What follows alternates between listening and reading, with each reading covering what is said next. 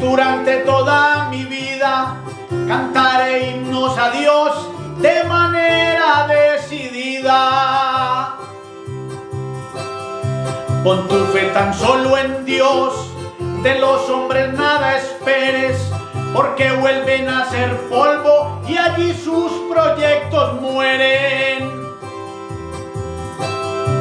Dichoso quien al Señor toma por su protector y quien pone su esperanza en Dios que es el Señor.